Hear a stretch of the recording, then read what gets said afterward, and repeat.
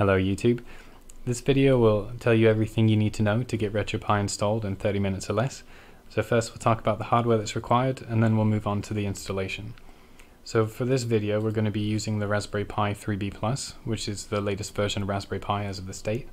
And then you can also use older versions of the Raspberry Pi as those work on RetroPie as well.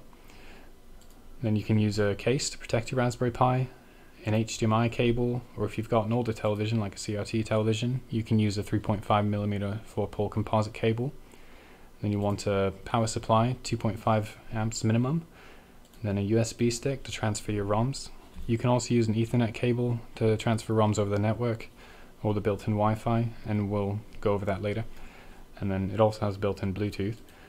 Then you want a micro SD card, which is what RetroPie will be installed on, a micro SD card reader, to install RetroPie from your computer.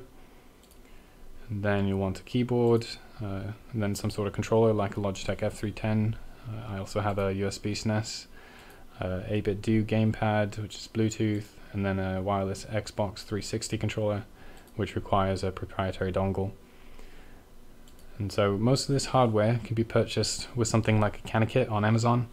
But if you see any kits that have RetroPie pre-installed, you're being scammed because RetroPie is free. So just stick with reputable sellers and install it yourself because that way you know how to fix problems when they come up. So let's move on to the installation.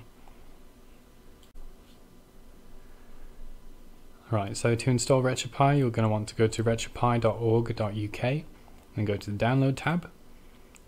And then this version, uh, as of this date, is version 4.4. And then if you'd like to donate to the RetroPie project, you can do so here as well. So we have the Raspberry Pi 3, so we'll pick that version, but if you got a Raspberry Pi 01, you'll pick this one. So Raspberry Pi 3, and then we'll 4.4 save the file, and that will download. So while that's downloading, we need to get another piece of software to install the operating system onto the SD card. So that is called Etcher, and this is the best software to do that with because it doesn't require extraction like Win32 Disk Imager does. So if you go to etcher.io, you can download that. And then once that's finished downloading, we'll, uh, we'll flash the image to our SD card.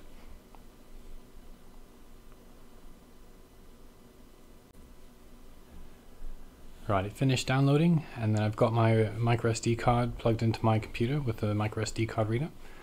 And then uh, got Etcher opened up, and then it looks like I've got my correct SD card selected and then we'll click flash and then yes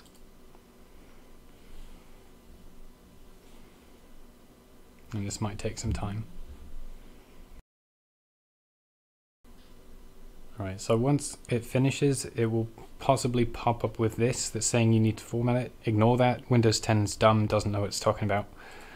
So part of the reason is that it doesn't recognize the file system that was written to it because it's a Linux based file system.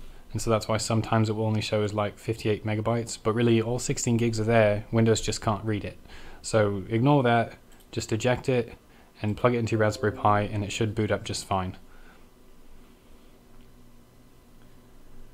Right so on first boot it's going to resize the file system and then it will reboot and start with the controller configuration. So once it boots up to that, we'll go through the controller configuration.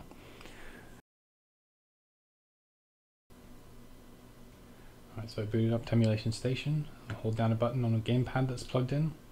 So D-pad up, down, left, right, start, select, A, B, X, Y, left shoulder, right shoulder. And I have a SNES controller, so these are all the buttons that are left. So I just hold down buttons to skip the rest of them. And the hotkey enable key is what we use to do saves and whatnot with RetroArch. So the default I usually use is select, but you can choose anything. Press OK.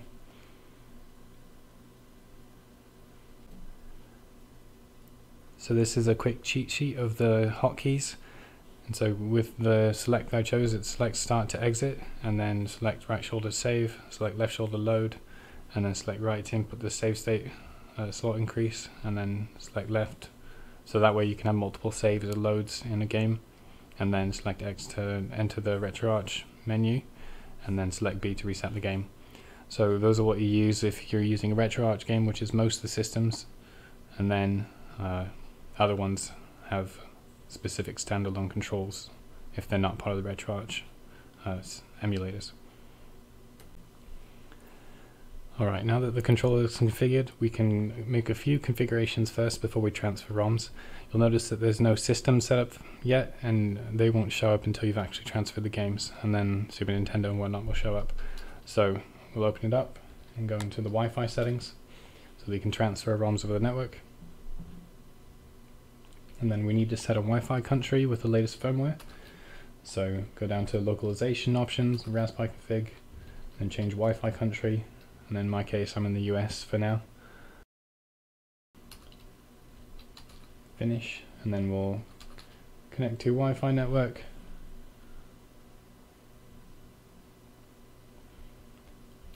Pick your SSID, put in your password. Right, so the IP at the top, that's what you're, you're going to connect to if you're connecting over the network. And then we will move on to transferring ROMs.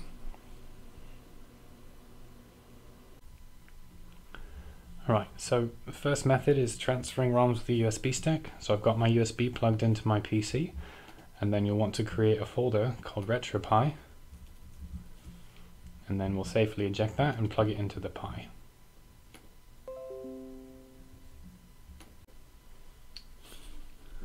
Right, so it should blink if you've got one of the light, and then wait for it to finish blinking and then once it's done blinking you know that it's been copied over. If you don't have a light on yours just wait for a while and then when you pull it out you'll see that the file system has been copied.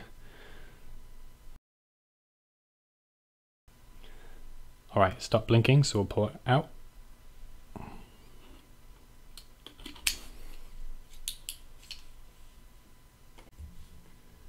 Alright, so I plugged it back in and the RetroPie folder is now filled. So we go to the ROMs folder, and then I've got some NES ROMs, which you'll have to provide on your own due to copyright reasons. So NES, now I've got my NES folder, put on a couple homebrew. So copy those over. We'll eject it and we'll plug it back into the Pi and it should copy it back over to the Pi.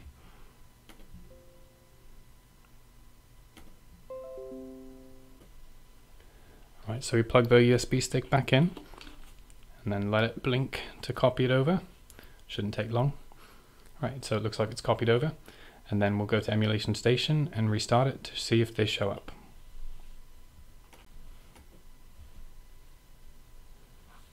Alright, so we're back in Emulation Station. You can see that they haven't shown up yet, so we'll restart Emulation Station in order to refresh the game list. So, quit, restart Emulation Station. Perfect, looks like they copied over. So there they are.